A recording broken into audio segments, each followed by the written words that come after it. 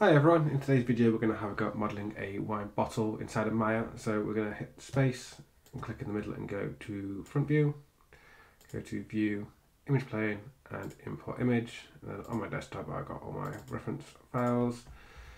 Scroll through until we find the one we want. There we go. I'm going to hit R to scale and bring it up nice and big. And then we'll grab a cylinder. And then what I like to do is R scale and make it as wide as the biggest part. Then let's turn X-ray on, right click over vertex and move up to about there and we'll drag this down to about there.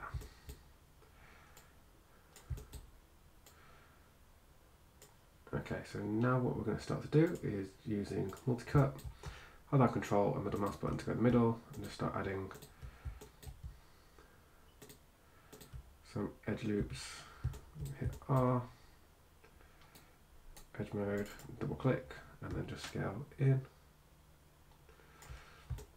I'm going to get the overall shape first.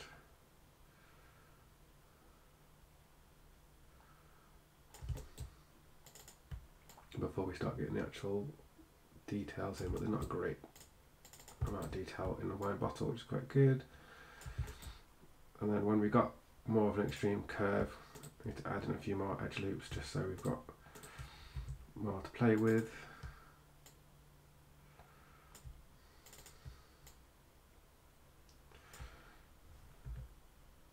Hit through just to check how it's looking. Quite happy with that. I might need another one in here.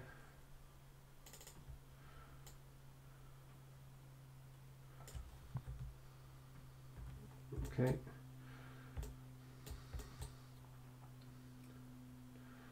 Down the edge here, what we're probably going to do is Control B to bevel, add segment like that. And then what we probably want to do, first of all, is let's grab that move out of the way, excuse me. You want to make bottle look like it's going up a little bit, so let's go to vertex, grab that and go up a little bit.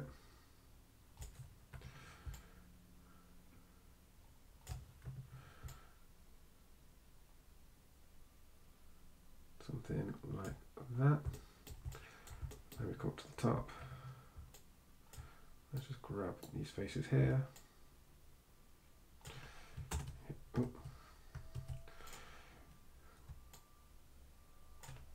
There we go.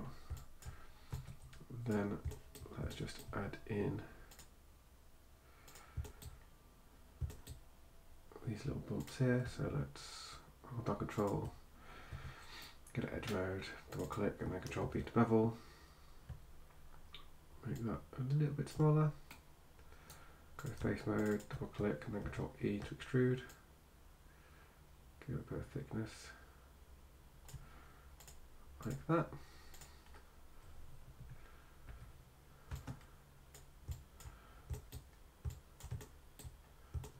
And what we can do is let's double click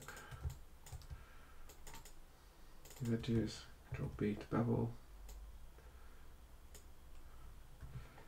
add in those supporting lines.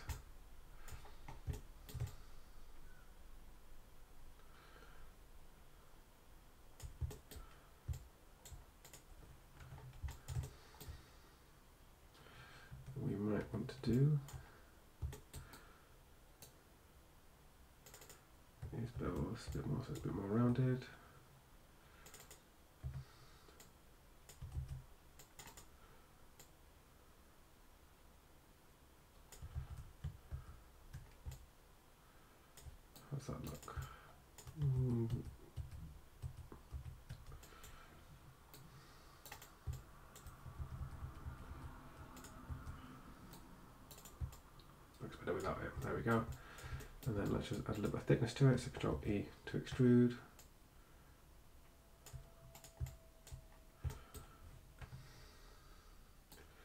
And then just grab these edges here. Control B to bevel.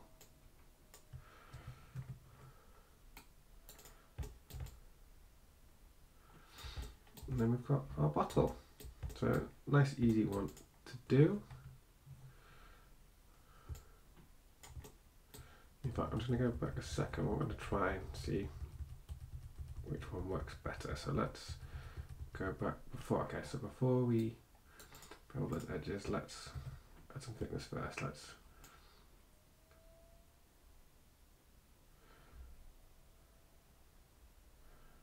add some thickness like that. Now let's add these supporting lines.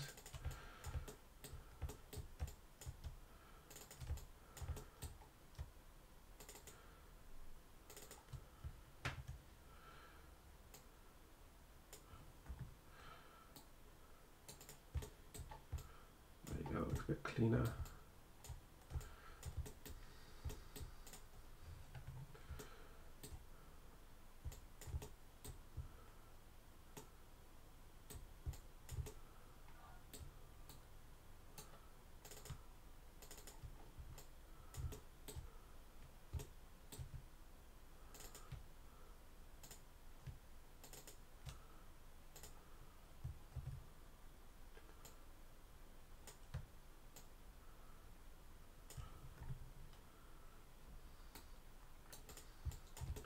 There we go.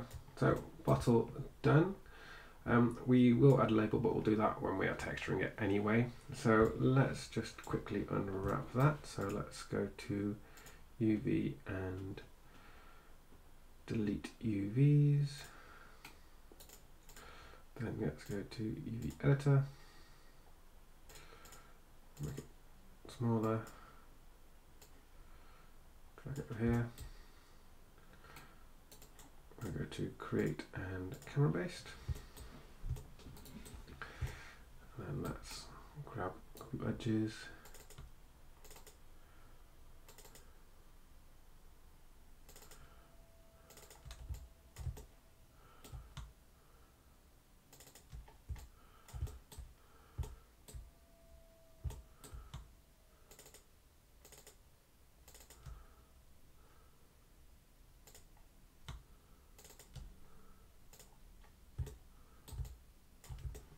grab down here as well. Then we just need one edge going all the way through. Hold down shift, right click, go to cut. Unfold. And then we've got our bottle wrapped nice and easily. So what we're going to do is quickly UV shell, select it all, right click, go to modify and layout. Let's just turn on marker. So we see we've got no distortion anywhere. So in two previous videos we have done a corkscrew and a wine glass. So what we'll do is we're going to take this over some, uh, to marmoset properly and texture it and then what we'll also do is a little video on bringing them all together in one scene as well. Okay, so now that we're in marmoset we're going to bring in our model by clicking on this button here. Let's grab our wine bottle and then we're going to want to bake it so to click on this button there drag our wine bottle into low poly and then click on bake project and we're just going to select where we want it to go. So we're going to want this wine bottle and we're just going to call this wine bottle and we'll change that to png hit save let's change that to 16 multiple texture sets and we'll just leave that there and then with our maps we're probably going to want those ones there and then we're just going to hit bake. And then we're going to jump over to texture. First let's just add in our glass material. So we'll go to library and we'll get like plastic glossy and bring this in. I'm going to change that colour like dark red, dark green rather sort of thing. Something like that. And we want to have transparency, so we're going to come to project maps. Let's add in transparency. And then roughness at zero, metalness all the way up, and then transparency, bring in a little bit like that. So we've got this dark green sort of glass. And then what we want to do is add our label as well. So let's add a paint layer. What we want to do, albedo, let's click on here and grab our wine label there. And then we're going to change this to fit to brush, make it bigger so you see what's going to start to happen. That's going to start to appear like that. There we go, tool settings, let's also grab that as well. We want to rotate it.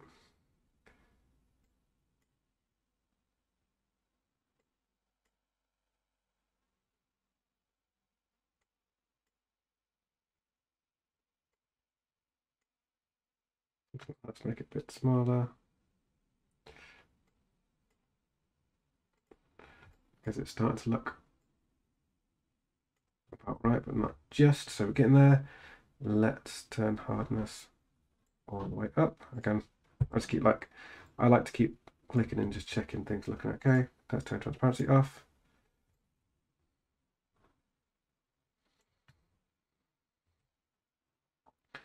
Let's then turn contrast all the way up.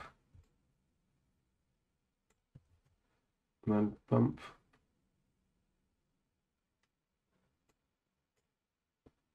because then that'll make it look like it's a bit more 3D and sticking out.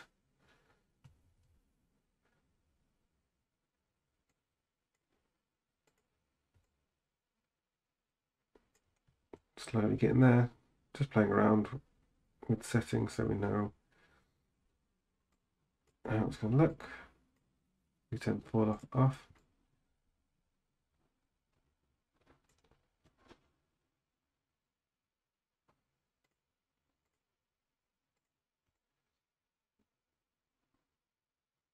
Okay, so we've got that looking about right. Let's let's angle a bit more away.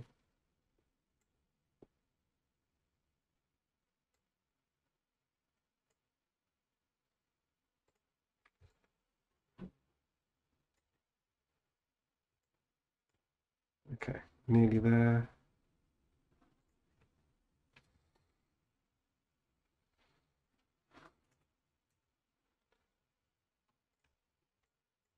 Okay, I'd say that height is there. We just need to get rid of this bit here. So let's have a look. Let's. Oop.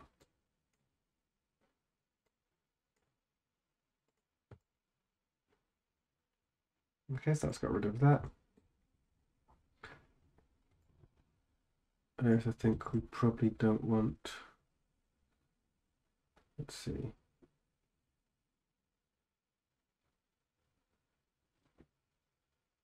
Let's turn that up a little bit, make it a bit more like a label.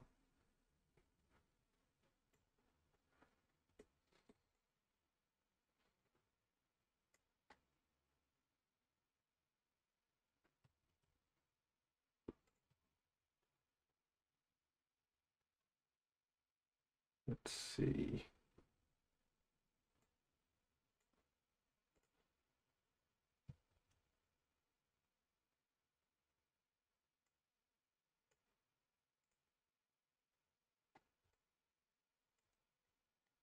Okay, that's looking better.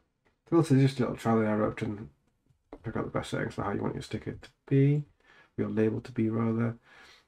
Maybe that is a little bit off still. Let's do like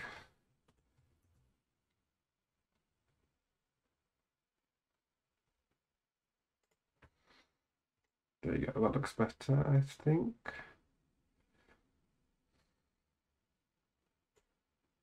We're going too far the other way.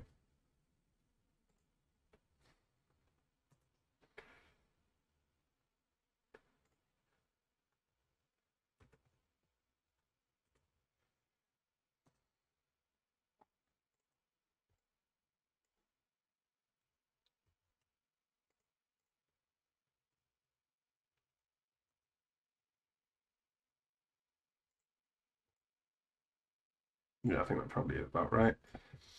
Okay, so let's just have a little look. That's looking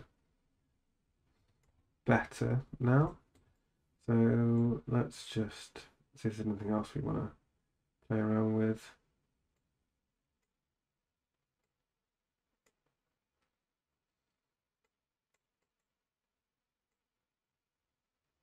That won't do anything anyway.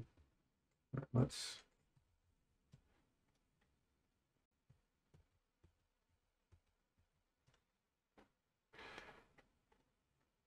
to that bump all the way up and see what happens. That's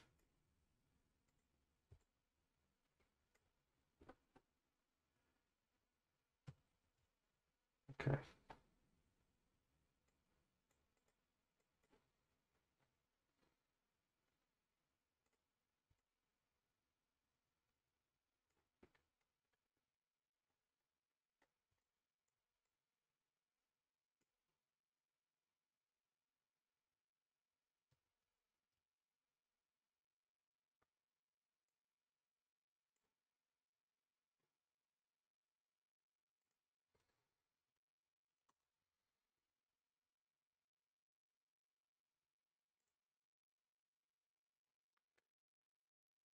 Something like that. Let's have a look and see how we're looking in render.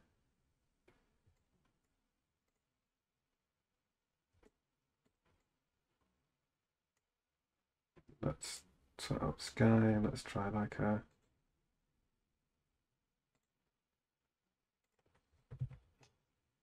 repoint.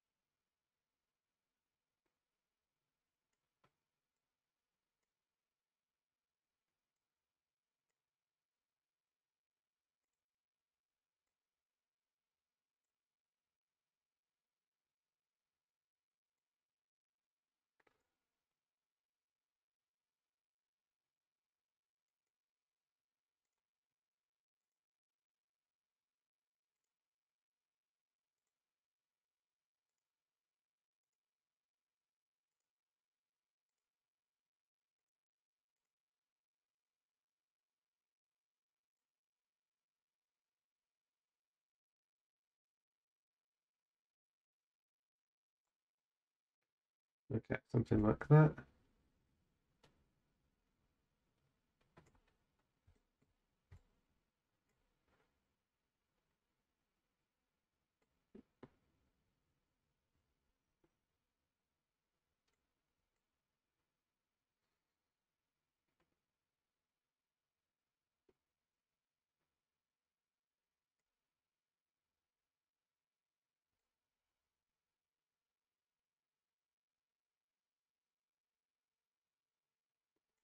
Okay, and then let's just go back to texture a second.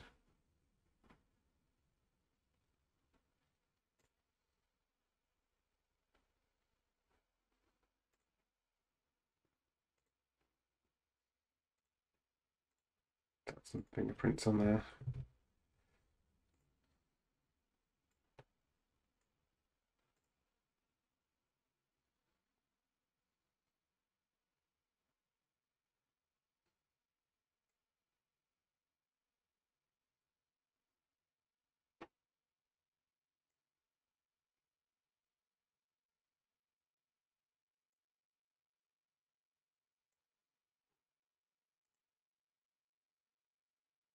That looks better. Can we add to our paint layer? Let's do like black mask and see if this works.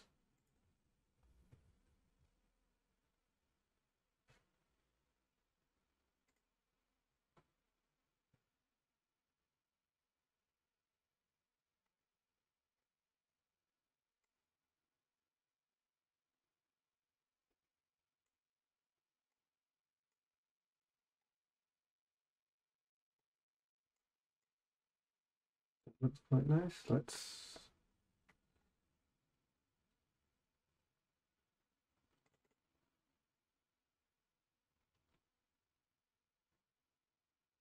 just for a second. Did not mean to put that there. Bring that out.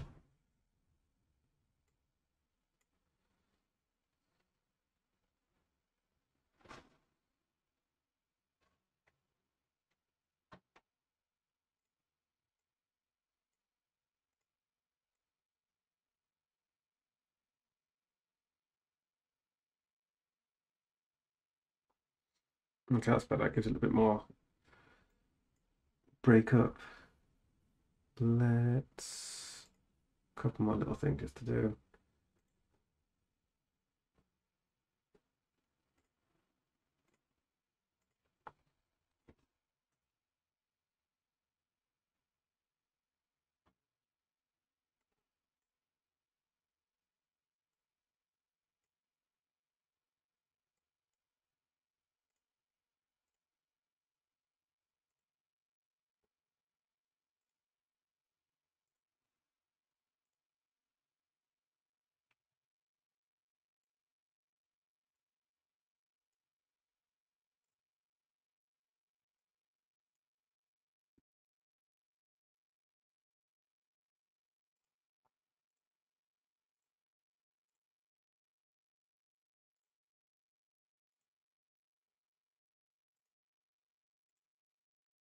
That peel. Let's see how that looks. Mm.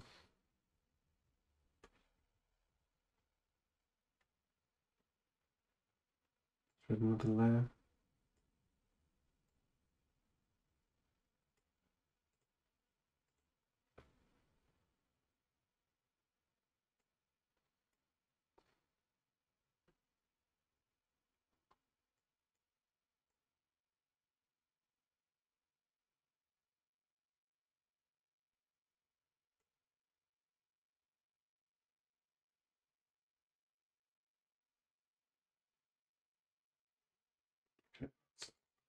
Big old man, that's not good.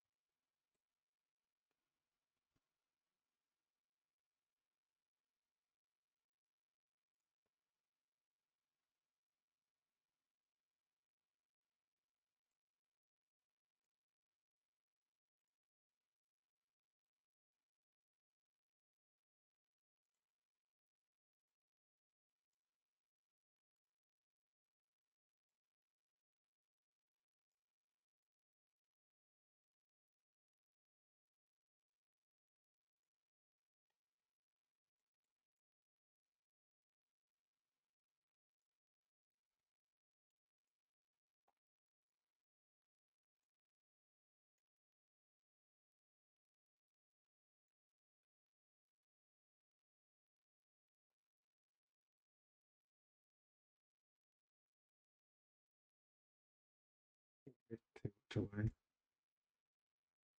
Yeah, something like that. Right, let's get it render. We'll stop there, otherwise we're going to go crazy.